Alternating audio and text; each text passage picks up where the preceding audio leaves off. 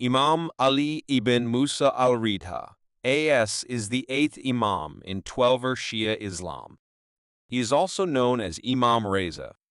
He was born in Medina in 766 AD and died in 818 AD. His father was Imam Musa al-Kadhim, and his mother was Najma. Imam al-Ridha is highly revered by Shia Muslims for his knowledge, piety, and righteousness. Here's a brief overview of his life. Birth and early life. Imam al-Ridha was born in Medina, the holy city of Islam.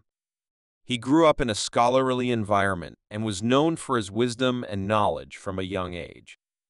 Imamate.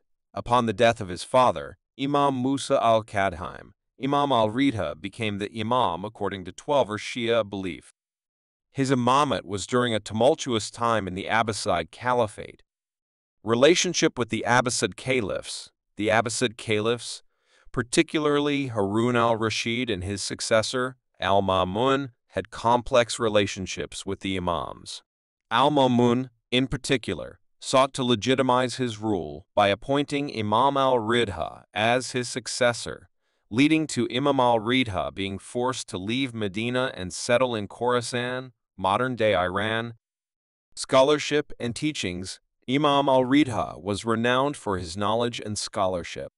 He engaged in debates and discussions with scholars of various backgrounds, leaving behind a rich legacy of theological and jurisprudential writings.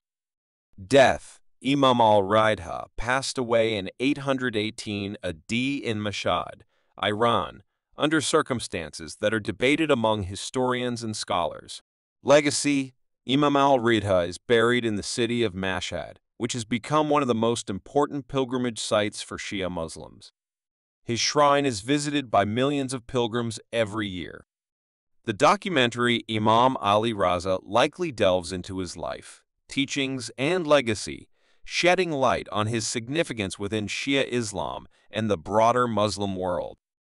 It would explore his spiritual teachings, his contributions to Islamic jurisprudence and theology, and his enduring influence on Shia thought and practice.